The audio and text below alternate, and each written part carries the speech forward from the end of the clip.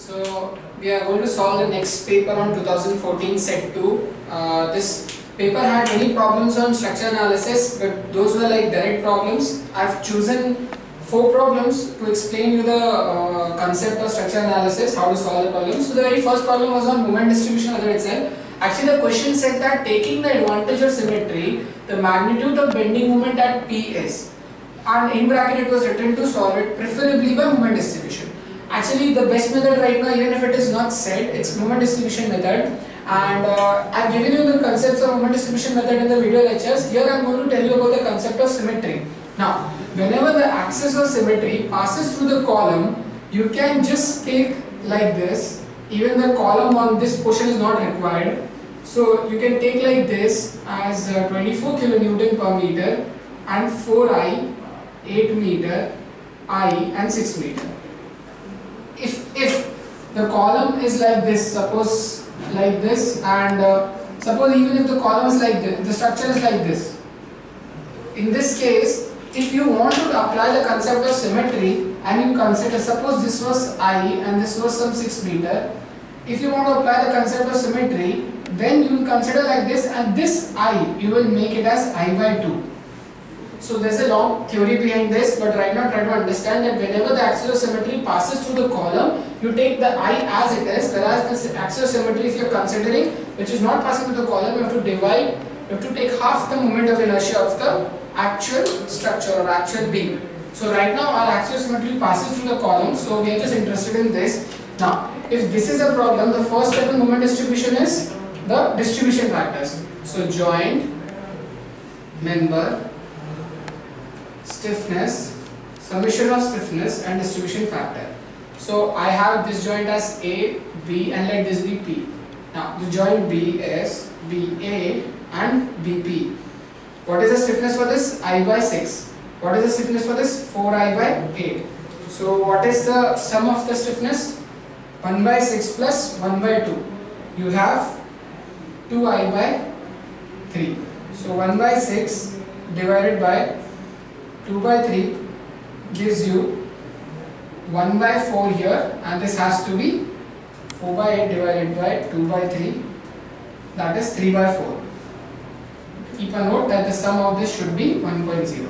Now after finding out this, uh, if I can erase this portion, if you have noted down this, the next thing I am just doing is I am trying to uh, directly calculate the moments now. Now what do I do in moment distribution is I always try to expand this like this and I'll write the distribution factors here. What was the distribution factor for BA? It was 1 by 4 here. So I'll write 1 by 4 here and 3 by 4 here. Now what is the uh, fixed end moment here? 24 into 8 square by 12, WL square by 12, right? Minus 128 I'll write here, plus 128 I'll write here. Now, if you see this, what do we do in moment distribution? Very carefully you look at, look, look at this point. At minus 128, you have a unbalanced moment acting at this joint. What do you do with this? You take minus 128 you multiply it by a minus sign. Why? Because you want to balance this. So you got plus 128. Now this 128 will be shared to this beam, sorry this column and this beam based on the distribution factor. So you first multiply it by 3 by 4. That gives you 96 and then you multiply 128 by 1 by 4. That gives you 32. So here I will write 96 and for this column I will write 32. Right? Since this end is fixed, this will carry over half its value. Remember the concept of far end fixed and the near end hinge? A moment is applied of 32. How much will be transferred? 32 by 2. So that's what I am writing here. 32 by 2 gives me 60. Actually, I am not interested in this right now. So this is 96, right? So what if this is 96, this will be transferred here, 96 by 2, that is 48. Agree? Now, if I want to further solve it, there is no more distribution in this case, right? Because this end is a fixed end. So what is the sum of 128 and 48? It's 176. Is it not the question is asking for? It is asking you the moment at P which is nothing but 176. So your answer is 176. Option number C. Okay. Coming to the next problem. the next problem is moreover an easy problem in which it is asked to uh, just find the axial load in the member PQ. Now, if you consider the axial load in the member PQ, you see here you have a fixed end here and I consider the free body of it. Now, if this is my 160 here, if this is 160 and here this is R. Agree? Here I have R value and here I have 160. Now, if this deflects like this and this deflects like this, this deflection should be 0. So if I equate these two, if I equate these two, will I again get the relation between R, the, the, the function with respect, the, the equation which has R in it, that R itself is the axial load for PQ and that's what is asked. So my aim is now to find the R. Let me just uh, do it one by one to explain it to you. So I'll take this first as this for my simplicity I'm taking it like rotated. I have 160 kilonewton acting over here I am interested in the deflection over this location. What, what do I do? I take the MAT theorem. So what is this value? 160 into 2 is 320. What is the deflection at end R? It is 1 by 2 into 320 into 2 into 2 by 3 of 2 plus 2, right? So this gives me 0.5 into 320 into 2 into 4 by 3 plus 2 that gives you 1066.67. Now, this is your deflection into this. Also, I said that there is R load which causes a deflection, right? So, in this case, uh, I'll do it here. In this case, my MAT theorem will be applied like this is R and I have here. So now the total span is 4 meter. So I have 4R, right? r into 4. So now the deflection value for me is 1 by 2 into 4r into 4. That is your area into 2 by 3 of 4. So this gives you uh, 4 2s are 8. Your 2 gets cancelled with this 2. 8 into 8 divided by 3 that gives you 21.33 r. This has to be equated with 1066.67 so your answer comes out to be 50. So your answer is 50 kilonewton is the axial load for the member PQ. I hope there is no doubt in this. So the next problem. The next problem is even simpler. In this problem, uh, it is just a pulley given. There is a fixed beam and there is a cable connecting a pulley at this end which is having a hanging load of 50 kilonewton.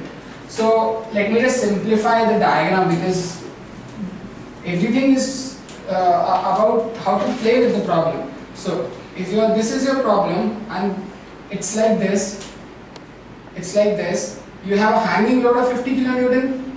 If this is hanging, this is transferring the load here 50 kilonewton and this is your 0.2 meter by 0.2 meter of beam and having a span of 3 meter. Now if this is your problem, you can simply tell what is, first let us go step by step. We need everything at point Q. What is the moment at Q? What is the bending moment at Q? Obviously 50 into 3. So you have 150. What is the shear force at Q? 50 kilonewton. Right? And what is the axial force at Q? Axial force will be 50 is your axial load. So 50 they are asking the axial stress at P. So that is 0.2 into 0.2 this will give you answer in kilonewton per meter square. So that is the question number 3 the last problem is uh, quite complicated one. So I hope there is no doubt in these three problems. I'll just erase this question. Okay. Let's see the last problem. In the last problem it is said that there is a beam which is having depth of 250 mm. Now, uh, generally won't happen in case of such shallow beams, but in case of deep beams having depth of more more than 1 meters to 2 meters, in that cases they can happen that the temperature above the beam is different than the temperature below the beam. Also, this could happen in case of RCC structures when the beam portion, half of the beam is inside the building and half of the beam portion is projecting outside the building. In such cases, the outside temperature could be more whereas the inside temperature subjected to air conditioning and all, so it could be quite cooler. So in those cases, this could be a condition.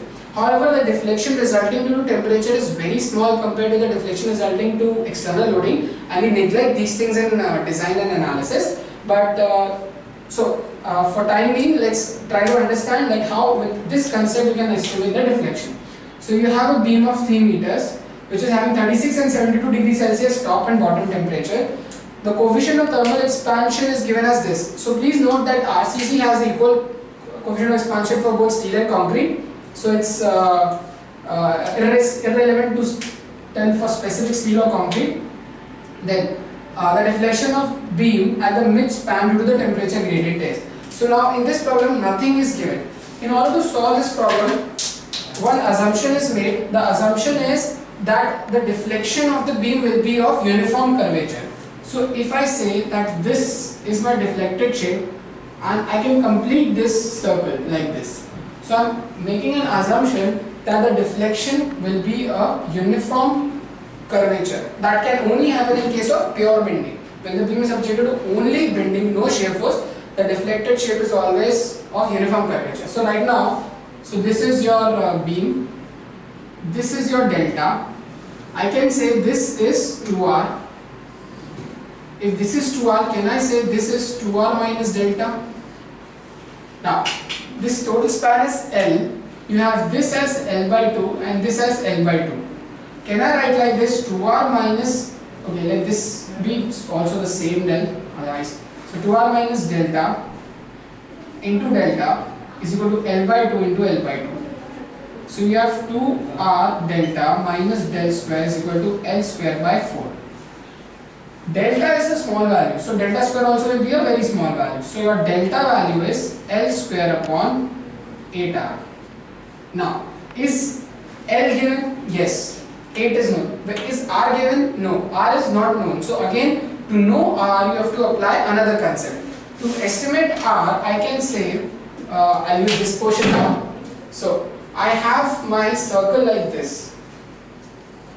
I'm saying this total length is right now L. Now, due to temperature, it started increasing and what is the strain developed due to this? I can say L plus L alpha delta T. I can say like this. Now, if this is R, I can say the increase in curvature is R plus H. Again here I can apply the circle property which is L upon L plus L alpha delta T is equal to R upon R plus H. I am interested to find R. So let's uh, let's inverse it right now first. L plus L alpha delta T upon L is equal to R plus H upon R.